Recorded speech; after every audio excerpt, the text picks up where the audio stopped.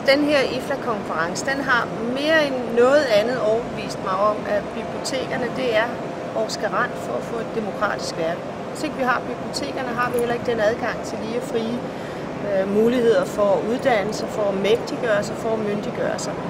Noget af det, der rørte utrolig mange af os rigtig meget, tror jeg, det var, da vi så den egyptiske øh, leder fra biblioteket i Alexandria.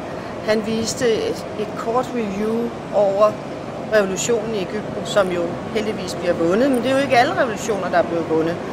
Og der så man, hvordan at de unge mennesker, de varetog bibliotekets interesser ved at stille sig rundt og danne kæde omkring øh, biblioteket, for at ligesom signalere, at det er, ikke, det er ikke myndighederne, der er herinde, det er os, det er alle borgerne. Så det var stærkt. Men jeg har også set, hvordan man laver et gudmorsprojekt, hvor øh, bibliotekarer rundt omkring i verden tager et par biblioteker i hånden og, øh, og danner link imellem dem, imellem børnene, imellem bibliotekarerne, og hvor man så lærer hinandens kultur at kende. Man lærer hinandens sprog, hinandens by, øh, hinandens bibliotek.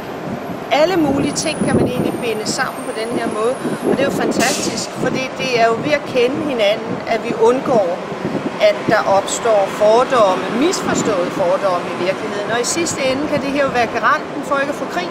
Så bibliotekerne kan rigtig meget. En sidste ting, jeg lige vil nævne, det er et sundhedsprogram, de har i Queens. Det synes jeg simpelthen er eminent. Og man går ind og prøver at... Det er selvfølgelig rigtig mange mennesker. Der bor over 2 millioner mennesker, så der er mange mennesker at tage af. Og de har rigtig mange tosprog. Og der går man så ind og afsøger enkeltgruppers integrerede, eller øh, hvad hedder det, indvandrers behov, finder lige præcis, hvad er det for noget, de har brug for. Det kan være det at lære at åbne en bankkonto. Det kan være det at kunne begå sig inden for sundhedsvæsenet. Det kan være det at øh, kunne tale med sin nabo, når man nu ikke kan ordentligt engelsk eller amerikansk i det her tilfælde.